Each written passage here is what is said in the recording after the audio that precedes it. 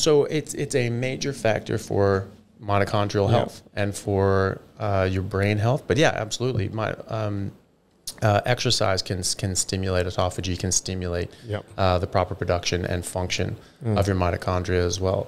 Um, so yeah, absolutely. All these things can benefit that, and then eliminating out different things that directly damage your mitochondria. So there are different. You know, I talk, obviously talk a lot about plant toxins, but a lot of these plant toxins directly damage the mitochondria, like cyanide. Cyanide is uh, these cyanogenic glycosides are in about th- roughly 3,000 plants that we know about.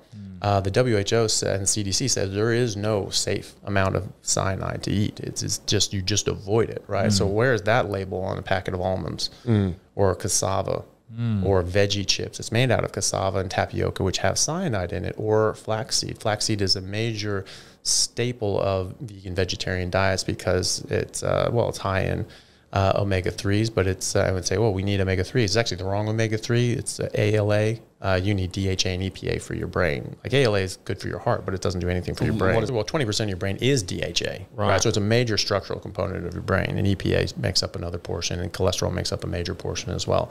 So you know, 60, 70 percent of your brain is fat, and a major part of that is is these omega threes that come from animal fat. You don't convert ALA into DHA or EPA very effectively. You know, some say not at all. Some say around five percent, and other studies have shown that actually you eat more ALA and your DHA goes down. So, so you can see these on electron microscope.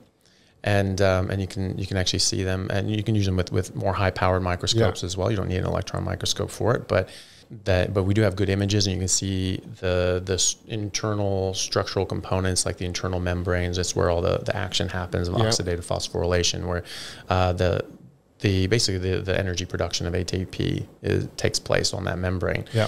And so it, it's, it's actually pretty incredible what people have been able to figure out about these these little organelles. Yeah. Like people like Otto Warburg is a Nobel Prize winner in um, in medicine and physiology. Yeah. He did tons of research on mitochondria and cancer, wrote a seminal paper in the 1950s called The Origins of Cancer. And he argued that cancer was a metabolic mitochondrial disease.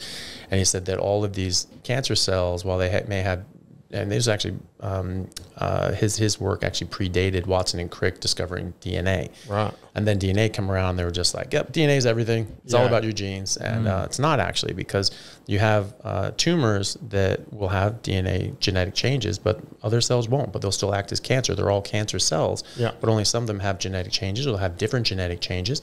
And there are actually cancers out there that have no genetic changes whatsoever, but they all have damaged mitochondria, and that's what uh, Warburg showed, and he showed that through their function, uh, through the the cells now lacking the ability to go through oxidative phosphorylation. So he actually didn't have sophisticated machinery and equipment and electron microscopes to prove this. He just actually showed by the function and lack of function what was going on, and then that was later confirmed uh, with electron microscope Yeah. and with these more advanced sort of uh, technologies that actually confirmed all of his work. There was a paper in 1975 where someone was basically trashing all of his work a couple of years after he he died. Basically, they waited for him to die. So That's what he got. And, Have uh, a rebuttal. yeah, and Yeah. um, and then he published this stuff out and said, "Oh yeah, no, it was a good thought, but you know, the problem is it just you know it, it depended on mitochondria actually being damaged, but now we know that you know they're actually not damaged. They, Yeah. they actually are, and you can see these under electron microscope, where the internal membrane is called the cristae." Is just gutted. It's just gone. And so that's the thing in biology, form equals function. And so if the form is damaged, they hmm. won't be able to go through the function. So if it doesn't have that internal membrane, it doesn't have an hmm. internal So membrane what- to, to generate the- ATP.